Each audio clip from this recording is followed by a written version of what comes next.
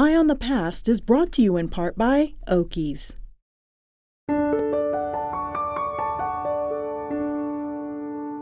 At the age of nine, Julian Stanley Wise watched helplessly as two men drowned in the Roanoke River.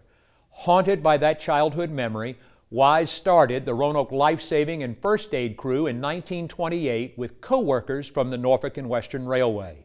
They became the first independent all volunteer rescue squad in the United States. Their first ambulance and garage space from which to operate were given by Oakey Funeral Service, led at the time by Robert Oakey. Other volunteer rescue squads followed, including the Hunton Life Saving Crew in Roanoke, believed to be the first all African American volunteer crew in the nation. Wise devoted himself to the rescue squad movement. By the time of his death in 1985, thousands of volunteer crews existed throughout the United States, a lasting tribute to Wise's tireless energy and example.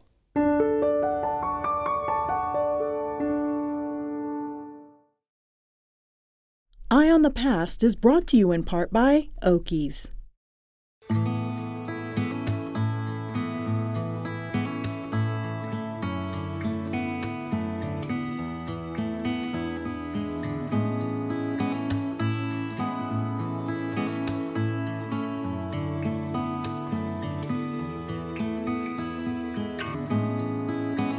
Oakey's Pet Funeral Home and Crematory.